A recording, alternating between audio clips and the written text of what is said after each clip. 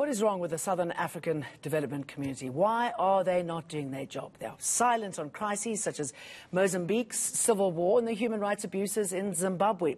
Civil society groups, opposition leaders, and commentators have criticized SADC over its inaction regarding the region's problems. For discussion on why the SADC doesn't intervene, I'm joined by the Institute for Security Studies senior researcher Liesl Loh Vordron. Very good morning to good you. Morning. What's up with SADC? What are they doing?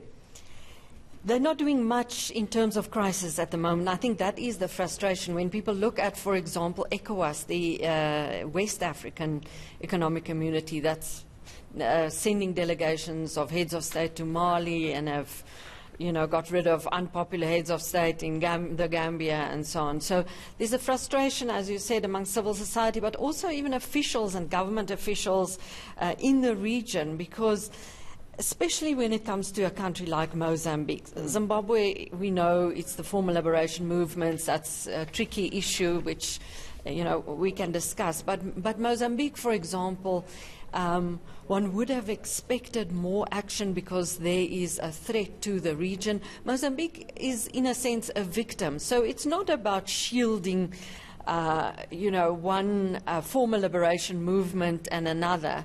Um, so I think we have to look at it uh, on two levels the heads of state, but also the institution of SADC based in Gaborone and its weaknesses in a way. Mm. I mean, of course, you need political will. You need the heads of state to say, okay, we're going to work through SADC, which in the case of Mozambique would be crucial because South Africa can't be seen to be bilaterally sending troops or any other mediation or so on to. It has to go through SADC. So clearly so there is no political will, if that's yes, I, I, we've had one meeting in the, in, in, on the 19th of May on Mozambique.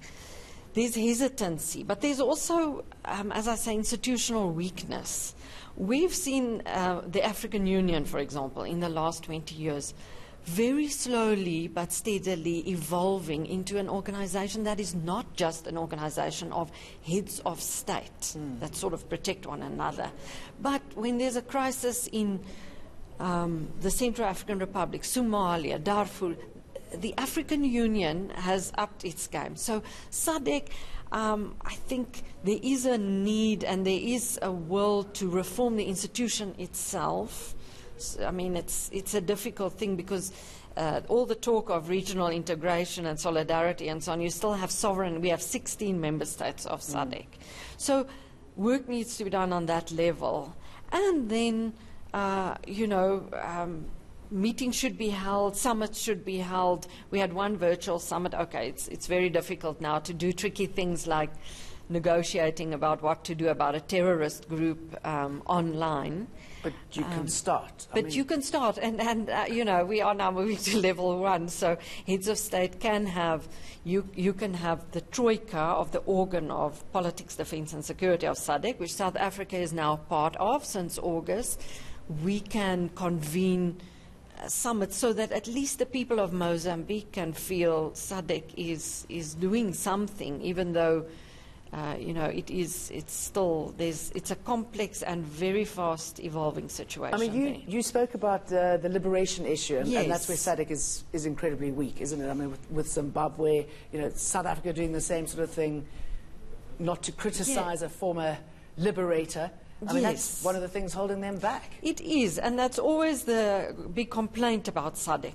But as I said, in the case of a country like Mozambique, one would have thought that that solidarity would kick in and we'd say, right, uh, you know, what can we do to help? So it's often a thing of sovereignty rather than, um, okay, in the case of Zimbabwe, as I say, there is the, the loyalties, but that's also, you know, I think the ANC government in South Africa is not a military-led regime like in ZANU, like ZANU-PF is in Zimbabwe. It's not as if there's so many similarities. It's a historical loyalty and, and so on. But there might be an opportunity, even in Zimbabwe, for South Africa and for the region to, uh, you know, to intervene. So I mean, there is that solidarity. But we've seen, um, you know, 20, 25 years later that um, other dynamics are at play. Mm. So, what I'm saying is we should look at the institution itself and compare it with other institutions like the ECOWAS Secretariat in Abuja and say, how can we how can we improve How it? can we be like them? I mean, in the meantime, this sort of apathy and the fact that it is, you know, quite frankly, a pathetic body, where does it leave countries like Mozambique? Where does it leave other member states who would like to get involved? As you say, you can't just go storming in. So Yes. what's the alternative? Yes, and I mean, for Mozambique, for example, so there have been calls, bilateral discussions, of course, behind the scenes with Angola, Zimbabwe, South Africa. Um, the, the, the danger, I think, uh, Jane, is we talk about African solutions for African problems. The danger in Mozambique is that you've got massive multinational companies, you've got international interests. This issue is being discussed in the European Parliament, it's being discussed in, uh, uh, uh, in the US as well. Um, so you could see, we've had Russian mercenaries even in, in Mozambique, you could see international non African intervention. And then a couple of months down the line, we're going to say, you know, oh, you know, France uh, comes in into West Africa, and you know, we we, we Oh. get uh, um, outraged over that. But sorry, I'm just going to jump. I mean, that's so frustrating, isn't it? I mean, we have nothing really to play with and work with, but, you know, God forbid somebody comes in from, from somewhere else to, to help. Yes. And the thing is, the re- I mean, you see it in Mali, the response to the French being there. It's, it's bloody. There is, yes, there's a, there's a backlash, but we still have an opportunity. I mean, there is, um, and I think one of the opportunities is the fact that this insurgency in Mozambique, in Cabo Delgado, is taking place exactly, literally a few hundred kilometers from where there are these vast interests, and they are South African economic interests. We mustn't forget that. You know, people say, "Oh, can this spread to us?"